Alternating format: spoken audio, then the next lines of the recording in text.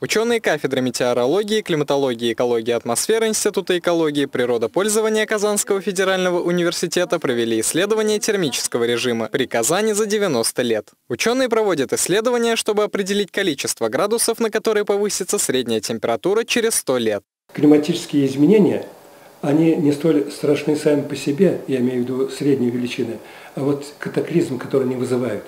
И поэтому а их становится все больше и больше, они масштабнее, и, наибольший, и все больше и больше ущерб приносят вот эти катаклизмы, природные катаклизмы. Чем выше температура, тем они будут чаще возникать, тем больше энергии находится в атмосфере и прочее. С учетом возможных проблем к повышению средней температуры необходимо быть готовым. Для Татарстана, я считаю, важный момент является, конечно же, в первую очередь, видеть, как меняется температурный фон, и использовать его для первую очередь для экономики и сельского хозяйства, для водного хозяйства, городского в том числе хозяйства. Артем Топичкин, Владимир Нелюбин, Универ News.